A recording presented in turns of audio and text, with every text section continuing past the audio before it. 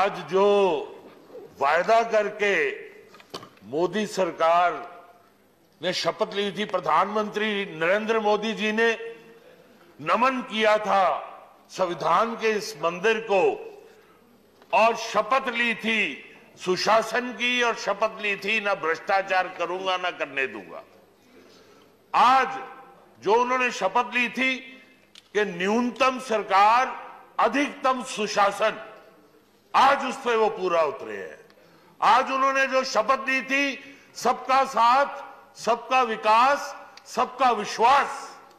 ये जितने बजट आज तक आए हैं, वो सब बजट उनको परिपूर्ण करते हैं कि जो शपथ ली थी उन्होंने कि आज वो सुशासन जो है वो देश को मिला है और उसका प्रत्यक्ष प्रमाण ये है कि दशकों के बाद मोदी जी को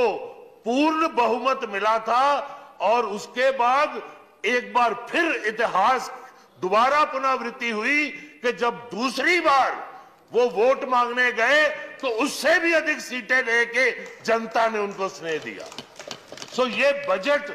का केवल विरोध करने से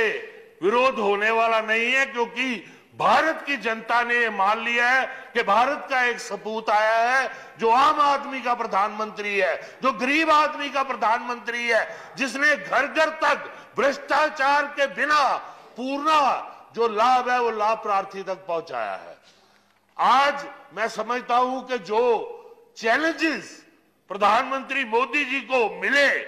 सबसे बड़ा इतिहास में मैं चैलेंज समझूँगा। ये सभी मांगे, मानेंगे, विपक्ष के लोग भी मानेंगे कि ये जो कोविड की वैश्विक महामारी है, मैं समझता हूँ कि ये सबसे गंभीर समस्या इस देश को मिली थी। ये मोदी जी जैसा दूरदर्शी प्रधानमंत्री था कि जिन्होंने समय रहते उसके लिए स्टेप्स लिए, चाहे बजटरी स्टेप्स हो, चाहे एडमिनिस्ट्रेटिव स्टेप्स हो तो उन्होंने जो लॉकडाउन किया वो लॉकडाउन करने का कारण था, अपने आप को आत्मनिर्भर बनाने का कि ना तो हमारे पास वेंटिलेटर थे,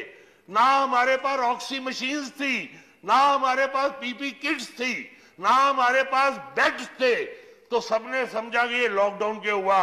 बहुत विकसित राष्ट्र थे, चाहे अमेरिका हो, चाहे यूरोपियन यूनियन हो, न्यूजीलैंड हो, ऑस्ट्रेलिया हो, उन्होंने